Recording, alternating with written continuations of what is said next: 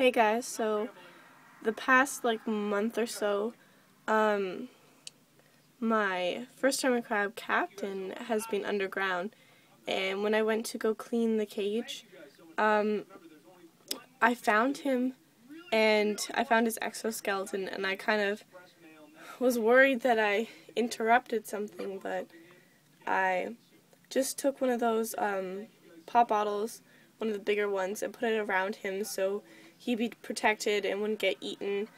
And um, a few days ago, he actually came up, and this is what he looks like. He's, he's gotten a lot bigger, and looks like he's doing very well.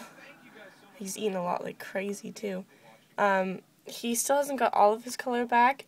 He's still a little pale, or whatever you could say.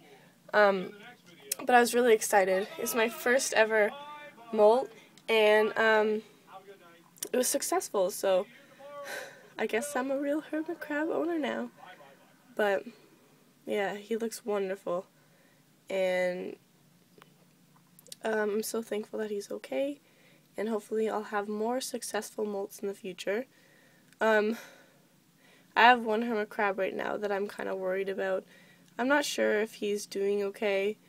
Um, he seems to, I'm not sure if he's dead or or what, but he hasn't, he's been down for a while, and um, I found him the other day, and he kind of like smelt a little bit, and I was really worried, and I'm not sure what to do. I'm going to wait it out a little bit, see if anything happens or changes.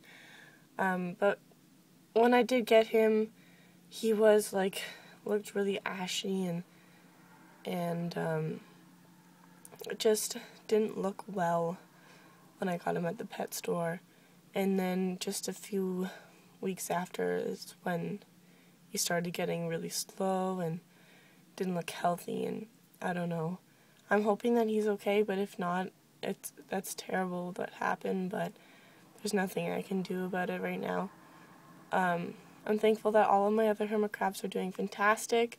Um, I got a new one the other day, and her name is Olive.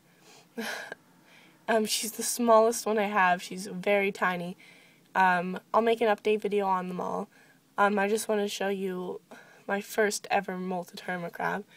Um, so yeah, this is Captain. Um, and my next video I'll update and I'll tell you what's going on. And I'll update you on Spike and see how he's doing, see if he's alive or not and such. Um, but yeah.